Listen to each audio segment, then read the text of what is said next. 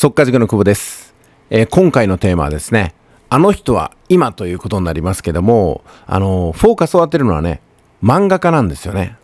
おそらく今50代をお過ごしの方の中にも、まあ幼い頃はね、将来漫画家になりたいなとかね、アニメで食っていけるようになりたいなって考えたことは一度でもあるんじゃないかなと思います。まあというのが、私たちが10代や20代を過ごしてる頃っていうのは、漫画っていうのはね、エンターテインメントの中でも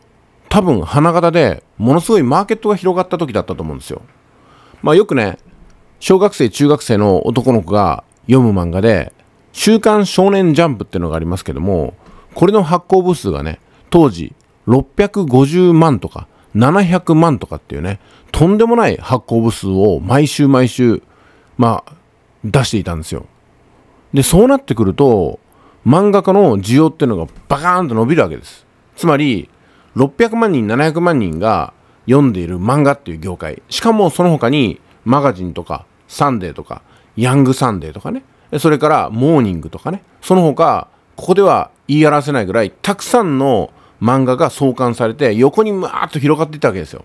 つまり、週刊少年ジャンプという一番人気の連載ができなかった人でも他の雑誌にどんどんどんどんね広がっていって連載することができたり読み切りで投稿することができたりそのぐらい漫画がものすごく広がったわけですから読者の中にも漫画で自分の表現がしたい。漫画で人気者になりたい。漫画で稼いでいきたい。そして将来はアニメ化とかねグッズを販売してものすごいねお金持ちになったり有名人になりたいって。まあそういった気持ちってあったと思います。特に芸能人とかタレントとか俳優さんっていうのは見た目が一番なんですけども漫画家っていうのはね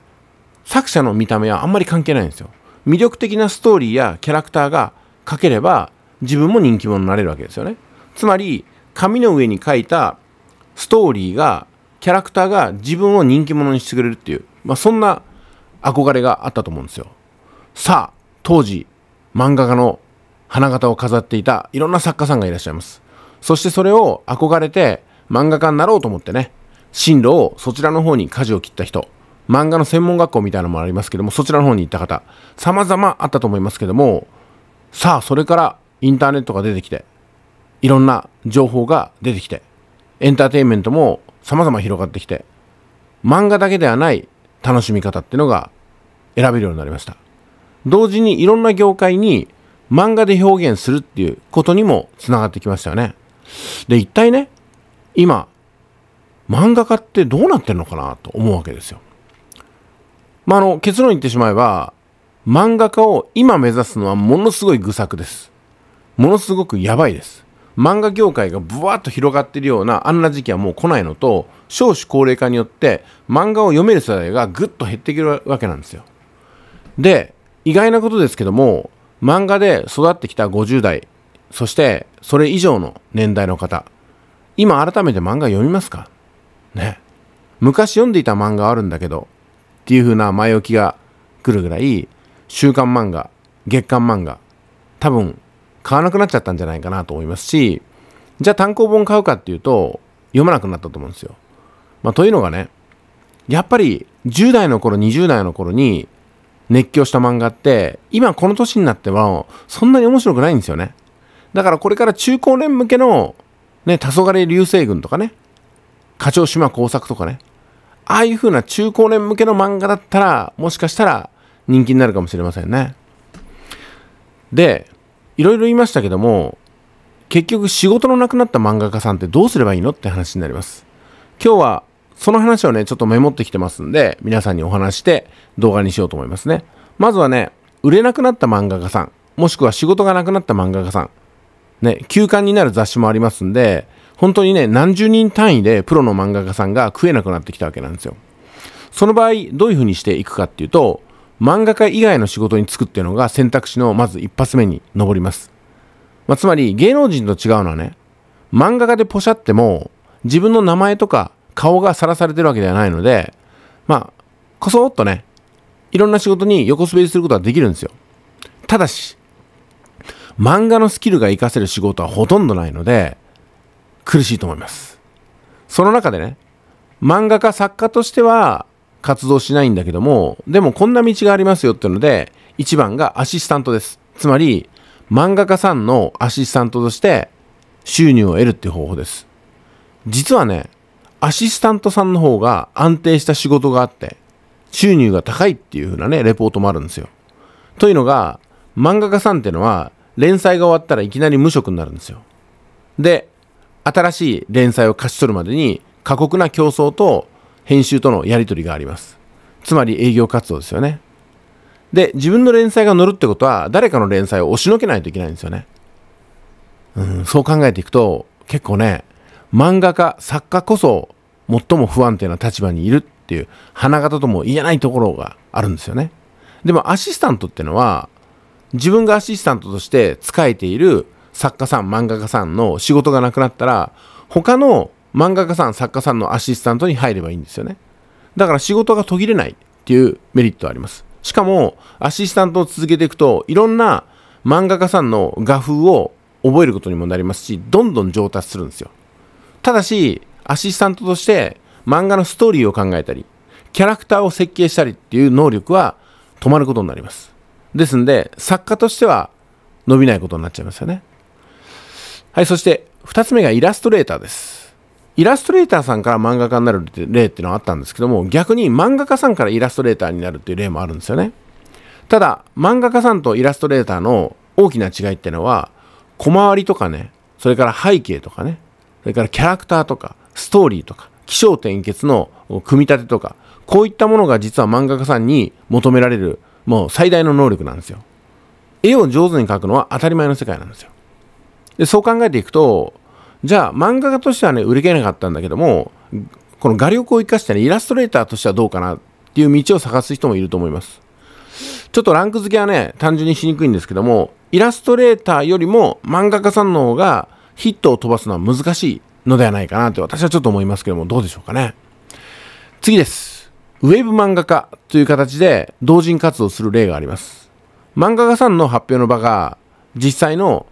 少年ジャンプとかね、月刊なんとかっていう雑誌だけとは限りません。自分の書いた漫画をインターネット上にブログなどで掲載することができます。で、最近ではね、あのネット漫画みたいなのがあって、単純にサクッと読める縦スロークスクロールの漫画とかもあるわけですよ。で、そういったところで、まあ、無限のマーケットにトライするってこともできるんじゃないかなと思います。で、あと、似顔絵描きってのもありますね。漫画家さんっていうのは、まあ、リアルな人の特徴を捉えて、あの、イラストにするのが上手なんで、そういった形で、ショッピングセンターとかね、イベント会場に、こそっと出てる人もいるかもしれませんね。ただしこれコンスタントには稼げないんですよ。で、次です。これはね、やってる人がかなりギャップを感じる仕事なんですけども、講師です。あの、漫画家の専門学校が、あの、日本中にあります。残念ながらこの漫画家の専門学校に行ったところで、行ったとて、漫画家にはほとんどなれません。うん、そもそも専門学校で学ぶことによって漫画家になれる道ってのは確立されてないばかりがまあこれからも確立されないでしょうね。だってプロで第一線でやってる漫画家さん漫画家の専門学校なんて行ってますかってことなんですよ。そして漫画家の専門学校で講師をしてる方が特にね有名な連載をしてるわけでもなければ名前が聞いたことがある作家さんが講師になってる例ってのは少ないです。そう考えていくと、プロじゃない人がプロを養成するために教えるみたいな形に見えることもあるんですよ。ただね、漫画家の専門学校って、結局プロとしてデビューできる道を指し示さなくても、そこでできる生徒さんのつながりとかね、漫画家としての業界の成り立ちとかっていうのを学ぶことができますので、全く無駄ではないと思います。当然、綺麗な漫画を描くこともできます。で、問題は、ヒット作家にはなれないけども、でも形を変えてね、例えば、町内会の回覧板を毎週漫画でお送りするみたいなね、そんな変わった町内会長が生まれることも考えられますし、漫画の形態様々ですからね、あの海外で漫画家としてデビューするっていう形もあるかもしれません。漫画家の専門学校っていうのは、日本で鳥山明さんとかね、その他有名な漫画家さん、藤子不二雄さんみたいな漫画家のつてを踏むのは、つてを踏むのだったらね、表現が悪いですけども、えその後釜になるのは難しいけれども、でも他のマーケットを探しましょうみたいなね、まあ、そんなきっかけにはなるんじゃないかなと思います。まあ、ウェブ漫画家さん、そして似顔絵描き、漫画の専門学校の講師っていう道がありますってことですね。最近ではね、YouTube で漫画のスキルを教えるための動画をたくさん出して、その上でオンラインサロンっていう形で、プロの教えるプロ漫画家への道みたいな、そんなのもあったりしてね。私も漫画描かないんですけども、ものすごくね、社会的ビジネス的に勉強になるなと思う漫画家さんの動画発信をよく見ることがあります。うん、そういったやり方もあるでしょうね。で、オンラインサロンに誘導みたいな感じです。漫画家さんの司るオンラインサロンって、これはなかなかね、ビジネス目線でも切り口としては斬新だなと思います。そして厳しい漫画業界を乗り切るためのマインドセットがそこでは学べると思うんですよね。はい、その他ね、まだまだ実はね、漫画家として作家としてちょっとね道半ば心折れても実はきちんと活動しているそういったあ漫画家さんであったらね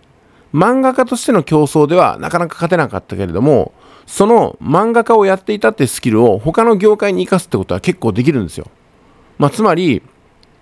漫画というものはねまあ、たまざま、なテーマを扱います。世界中のいろんなジャンルを扱います。そこまで踏み込んだ方なら、漫画という形を取らなくても、その能力を、マインドセットを生かすことができるっていうことなんじゃないかなと思います。ね、絵が上手なだけで、なんとなく漫画家になろうと思った方、ストーリー構成もいまいち、編集さんとのやり取りもうまくできなかった。そして、自分の作ったキャラクター一人一人に特徴を持たせられなかった人っていうのは、実は漫画家としてデビューもできなかったかもしれませんし、もっと言うと他の業界でもなかなか気に留まるようなそんなね一人のビジネスマンとして育たなかったってことなのかもしれないですね。いずれにしても厳しい世界であることは漫画家のみならず同じということでございました。それでは今日は以上です。